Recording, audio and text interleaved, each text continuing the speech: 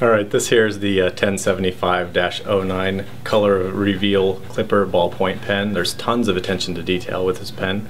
It's got a nice rubber grip in the front here, aluminum barrel, a nice big clip for your notebook or your pocket or whatever.